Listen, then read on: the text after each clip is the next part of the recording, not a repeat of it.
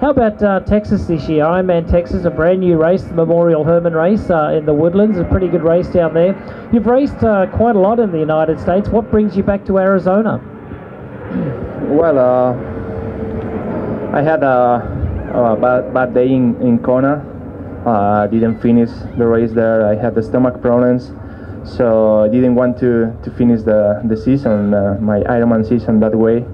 So I I saw the Ironman Arizona was close in the in the calendar, and uh, and then uh, after did two weeks later. I did Xterra. I was third there. I was in a great form. I think was the best shape of my life getting to Kona, but didn't come out there. And uh, and now it's a little bit later in the season, but I had a very good training. I've been training in, in Tucson, very close to here, so it's been perfect because uh, we have the same same weather there, and I think I'm very well uh, acclimated to this this kind of, of, of weather with this very dry uh, and and, and I get used to, to training these conditions. So so I think uh, my preparation for this race has been perfect, and uh, and now well I have to to finish the season the, the right way with a good good good race and especially feeling feeling good with myself and, and being competitive in an Ironman race.